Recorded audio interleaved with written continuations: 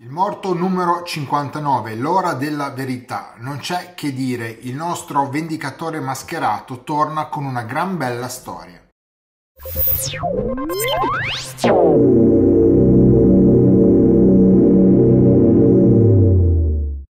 Agenti Alfa, bentornati sul canale. Come dicevo nell'intro, il morto ritorna con questa sua cadenza bimestrale e lo fa con una storia veramente molto molto interessante. A dire il vero faccio subito una premessa,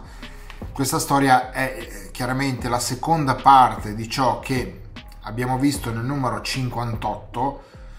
e devo dire che per avere una lettura veramente comprensibile e completa, nonostante qui ci sia riassunto, è molto meglio recuperare entrambi gli albi. In questo caso secondo me ne vale la pena perché questa doppia storia in pratica è un insieme di intrecci di vicende familiari, politiche e anche di commercio di armi, insomma traffici clandestini, politica che riguarda la dittatura argentina. C'è veramente tantissima carne al fuoco. Secondo me, come sempre, si cade in qualche ingenuità, sia dal punto della sceneggiatura sia dal punto di vista grafico, però l'insieme ci restituisce una storia veramente molto molto interessante. Comunque non farò un video lunghissimo perché voglio parlarvi soprattutto della sostanza ecco, di questa storia, ma vi dico comunque chi si è occupato di questo numero. Allora abbiamo soggetto e sceneggiatura come sempre di Ruvo Giovacca, matite di Luca Bonardi e Davide Celletti. Luca Bonardi è quello che talvolta troviamo su Alan Ford. Chine Vasco Gioacchini, come spesso accade, la copertina a cura del, del mitico Paolo Telloli. Poi alla fine c'è la consueta storia breve che ormai troviamo sempre sulle pagine del morto, intitolata Malum, testo e disegni di Angelo Feltrin, una storia carina ambientata in un mondo post-apocalittico con, con, degli alieni che sbarcano sul nostro pianeta, poi si spogliano delle tute come a riniziare una civiltà, ma alla fine poi ricadono negli stessi errori ecco, dell'Homo sapiens. Quindi una storia, solite storie un po' metaforiche che vengono incluse alla fine del morto, che spesso lasciano indifferenti, ma qualche volta una chicchetta, ecco, la possiamo trovare. Dicevo che in questa storia si intrecciano molto le vicende della dittatura argentina,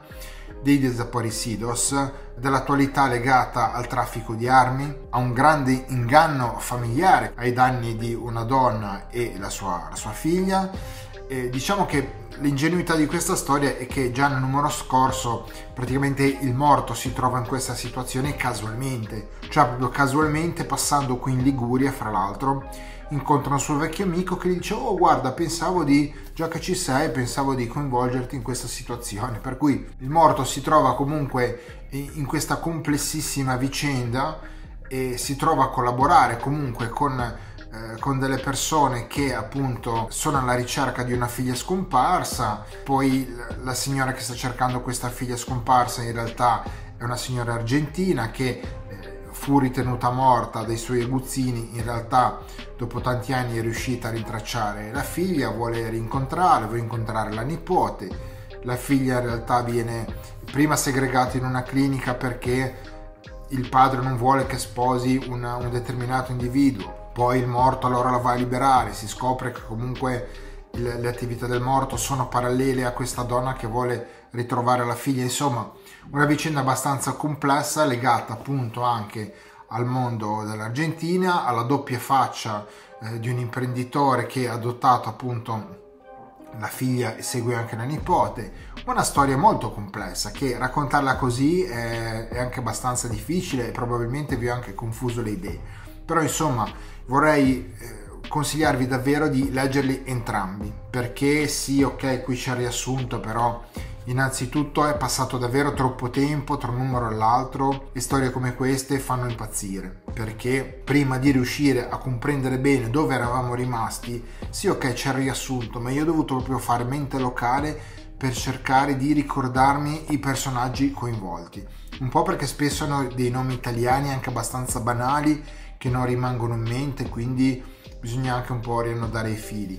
Poi ci sono delle situazioni, non dico grottesche, ma sono proprio eh, molto ingenue. Non è possibile che capitino tutte a, al nostro protagonista, cioè che ogni volta che lui mette il piede fuori di casa gli succede qualcosa. Secondo me dovrebbe esserci una base un pochino più costruita e forse questo succede perché? Perché il nostro morto non ha un vero antagonista e quindi quando si, si trova così a vivere avventure di, di vita no, normale, quotidiana, inevitabilmente la miccia per far partire la storia spesso e volentieri deve essere casuale o comunque un imbattersi in qualche cosa che rispetto all'inizio dove c'era un filo logico, io lo sto rileggendo dall'inizio, no? Mentre all'inizio c'era una sorta di filo logico e anche l'evoluzione della sua vita aveva una certa cronologia, perché lui piano piano ritrovava dei familiari, piano piano metteva a posto qualche tassello della sua memoria e lui in questo percorso a ritroso comunque andava a mettere un po' ordine in quella che è stata la sua esistenza. Qui le avventure nascono un po' dalla sera alla mattina, nel senso che a volte è vero che lui è ossessionato dal, dal ricercare il suo passato, però in qualche numero, ecco, quella rimane la scintilla per qualche avvenimento. Ma in questo caso, secondo me, lui si trovava in Liguria, in Liguria casualmente gli è successa questa cosa, cioè non è stato un, un percorso, secondo me, eh, di ricerca sua personale di qualcosa, ci si è trovato in mezzo come spesso gli è capitato. Devo dire che qui ho trovato un paio di stralci della mia Genova, mi fa sempre piacere vedere la mia città sui fumetti e diciamo le tavole sono un po' reinterpretate perché non sono proprio fedelissimi come mi è capitato ad esempio di vedere in Giulia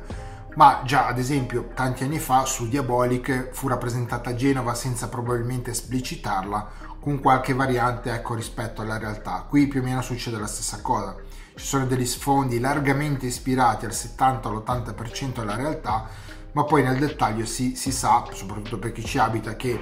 oggettivamente qualche scenario è un po' diverso. Comunque, sempre bello vedere Genova su un fumetto. Io probabilmente vi ho un po' confuso le idee, ma questa trama oggettivamente è complessa, bisogna leggerla e secondo me ne vale la pena. Se si supera lo scoglio di dire, ma insomma com'è possibile che a, che a Peg accada tutto no? all'improvviso così? Ecco, se si lascia un po' da parte lo stupore, ecco,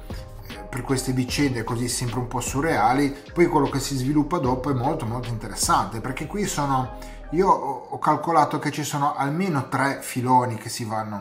a intrecciare in questa doppia storia, il che non è male, perché poi hanno tutte una certa coerenza narrativa, si incastrano bene, è raccontata bene, devo dire. Ho trovato un paio di ingenuità, una dal punto di vista del disegno, che c'è un camion che sembra che, eh, che sia sospeso per aria, è veramente una scena molto particolare, c'è una prospettiva che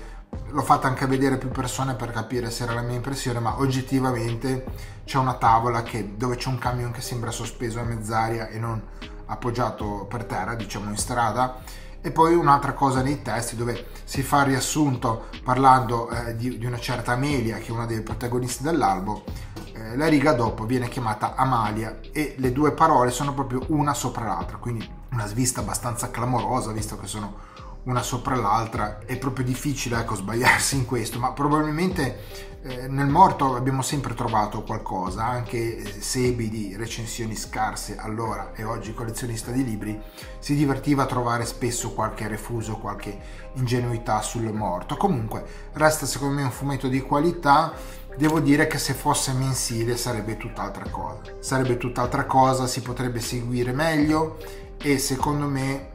sarebbe un pochino più sulla bocca di tutti, perché comunque il fumetto è valido, già si trova poco, poi quando si trova comunque è distribuito male, non per colpa della casa editrice chiaramente, ma di questo sistema malato della distribuzione e quindi viene un po' ostico, ecco, proprio reperirlo soprattutto nelle città minori e comunque anche qui da me non è che proprio in tutte le edicole c'è, appena ci si allontana dal centro non lo si trova più, quindi per dire è un grosso peccato, però è un fumetto che vale e non mi stancherò mai di dirlo. Qualche passaggio vuoto c'è stato, fra tutti quelli che ho letto, però devo dire che negli anni la qualità è andata aumentando sia dal punto di vista delle storie che dal punto di vista dei disegni e a ogni uscita del morto noi dobbiamo insistere su questi concetti perché è un fumetto molto molto valido, sicuramente molto più realistico e impregnato nella realtà rispetto all'unico pocket inedito che esce in edicola oggi che è diaboliche. Non si può parlare di concorrenza fra i due fumetti, sarebbe un'eresia, però comunque è molto più realistico e attinente alla realtà questo rispetto a Diabolic che è rimasto un po' ingessato nel suo tempo e nella sua dimensione ecco, di ladro geniale e affascinante. Comunque per oggi finiamo qui, vi invito ancora una volta a recuperare il morto perché è veramente una testata che vale Peraltro adesso la miniera sta continuando a ristampare le storie in una elegantissima edizione